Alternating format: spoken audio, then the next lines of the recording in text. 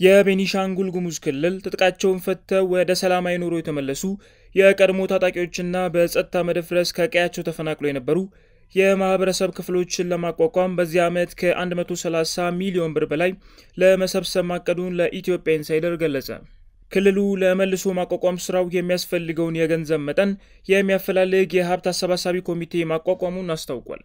የቤኒሻንጉል ጉሙዝ ክልል ካቢኔ ከትላንት በስቲያው ጥቅም 3 2017 ባካሄዱ አስቸኳይ ስብሰባ ኮሚቴው በአጭር ጊዜ ወደ ስራ እንዲገባ ውሳኔ አስተላልፏል።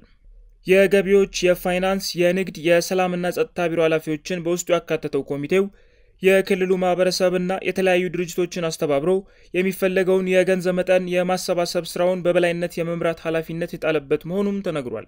የሀብት አሰባሳቢ ኮሚቴውን ማደራጀት ያስፈለገው የክልሉ መንግስት ካለው የበጀት ውስንነት አንጻር ስራውን በራሱ አቅም ብቻ ለማከናወን የማይቻል በመሆኑ ምክንያት መሆኑን የክልሉ የካቢኔ ጉዳዮች ጽህፈት ቤት ኃላፊ አቶ አሻሪፍ ሀጂ አኑር ለኢትዮጵያ ኢንሳይደር ተናግረዋል። ክልሉ ለመልሶ ማቋቋም በዚህ ዓመት ለመሰብሰብ ያቀደው ከ130 ሚሊዮን ብር በላይ መሆኑን የገለጹት አቶ አሻሪፍ ሆኖም ለአጠቃላይ ስራው ከዚህም በላይ በጀት እንደሚያስፈልግ አስረድተዋል። የቤኒሻንጉል ጉሙዝ ክልል ለ2017 በጀት ዓመት እቅድ ማስፈጸሚያ የያዘው በጀት 8.9 ቢሊዮን ብር ነው።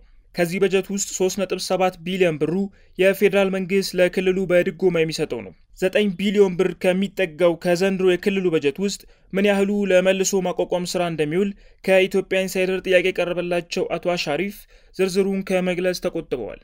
የመልሶ ማቋቋም ስራው በሺዎች የሚቆጠሩ የቀድሞ ታጣቂዎችና ተፈናቃዮች ተደራጅተው ወደ ስራ እንዲገቡ የማድረግ ዓላማ ያነገበ መሆኑን የካቢኔ ጉዳዮች ጽህፈት ቤት ኃላፊው አመልክተዋል።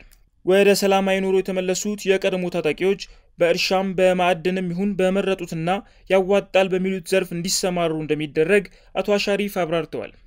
መንግስት ጥናት ያደርጋል፣ ያንን ጥናት ይቀርብላቸዋል። የተለያዩ የስራ ዘርፎች አሉ።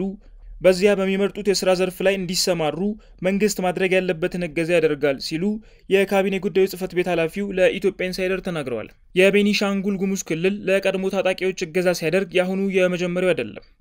የቤንሻንጉል ህዝብ ነጻነት ንቅናቄ ብሄነንና የጉሙዝ ህዝብ ዴሞክራሲያዊ ንቅናቄ ጉህዴን ከክልሉ መንግስት ጋር በጋራ ለመስራት የሚያስችላቸውን የሰላም ስምምነት ከተፈራረሙ በኋላ በሰላም ለተመለሱ የቀድሞ ታጣቂዎች ተመሳሳይ እገዛ ተደርጓል።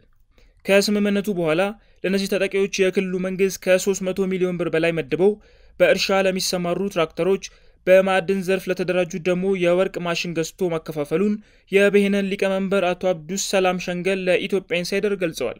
በአገልግሎትና በንግድ ዘርፍ ለተደራጁ የቀድሞ ተዋጊዎችም ለመንቀሳቀሻ የሚሆናቸው ካፒታል እንደተሰጣቸው አቶ አብዱሰላም አክለዋል። በ2016 በጀት ዓመት ይህንን ድጋፍ ያገኙት በ612 ማህበራት የተደራጁና 9734 የቀድሞ ታጣቂዎች መሆናቸውን የቤኒሻንጉል ጉሙዝ ክልል የስራና ክህሎት ቢሮ ኃላፊም ጭምር የሆኑት አቶ አብዱስ ሰላም አመልክተዋል።